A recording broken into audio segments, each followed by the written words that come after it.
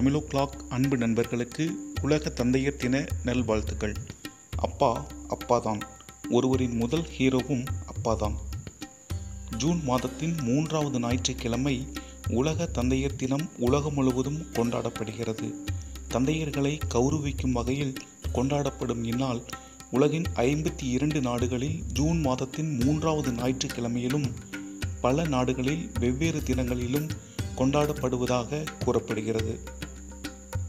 வாஷிங்டனை சேர்ந்த சொனோரோ ஸ்மார்ட் டோட் என்பவர் ஆயிரத்தி தொள்ளாயிரத்தி ஒன்பதாம் ஆண்டில் விடுமுறை நாளான ஒரு ஞாயிற்றுக்கிழமையில் ஸ்போக்கனில் உள்ள சென்ட்ரல் மெத்தோடிஸ்ட் எபிஸ்கோபால் தேவாலயத்தில் அன்னையர் தினம் சமய போதனையை கேட்டுக்கொண்டிருந்த போது தந்தையர் தினம் குறித்து யோசனை தோன்றியதாகவும் அதை அடுத்து ஜூன் பத்தொம்போது ஆயிரத்தி தொள்ளாயிரத்தி பத்தாம் ஆண்டு ஞாயிற்றுக்கிழமையன்று அவருடைய தந்தைக்காக தேவாலயத்தை ஒரு புகழுரை ஏற்பாடு செய்தார்.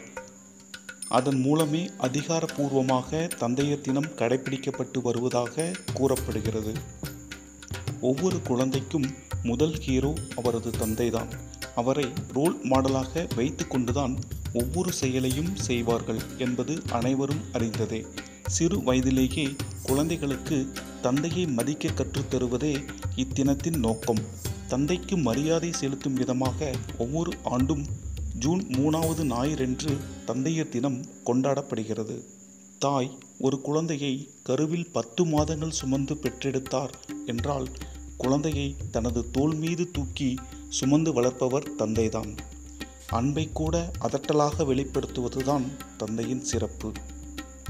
நம்மை படிக்க வைத்து ஆளாக்கிய தந்தைக்கு நாம் செய்யும் கைமாறு என்ன தெரியுமா?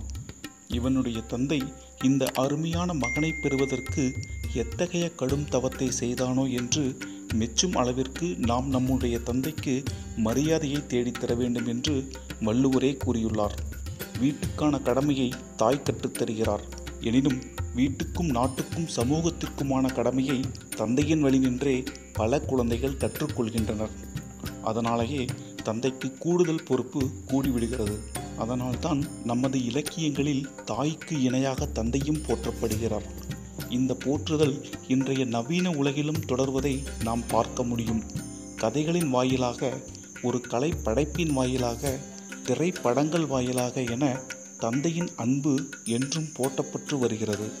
தான் பட்ட கஷ்டத்தை தன் மகனோ மகளோ படக்கூடாது என்று எத்தனையோ தியாகங்களை செய்து வளர்த்திருப்பார் தந்தை.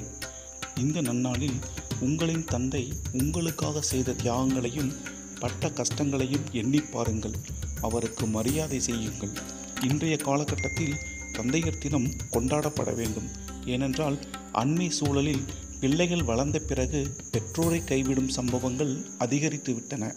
தாயை விட தந்தையை கைவிடும் பிள்ளைகள் இந்திய சமூகத்தில் பெருகிவிட்டதாக புள்ளி விவரங்கள் கூறுகின்றன.